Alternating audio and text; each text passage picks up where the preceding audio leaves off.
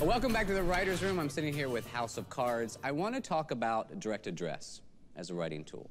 Frank Underwood quite literally makes eye contact with us and summons us into this world. Let's take a look at this fan tribute using direct address. Yes. Thank you. Oh, I uh, ordered this without whipped cream.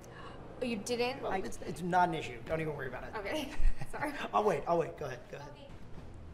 Sandra's a sweet girl. I'm working here about three weeks. Can't ever seem to get my order right. I smoke a Frappuccino sans the whipped cream. Sweet don't make you valuable in this world, and sweet and stupid. Hmm? What's up? Hi. I said I was sorry, so No, dude, there's no need to apologize. Oh, you're They being- did a great job. you're just being so mean.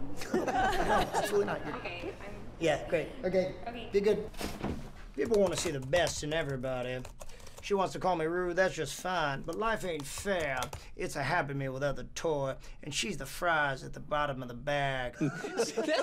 Not too bad, huh?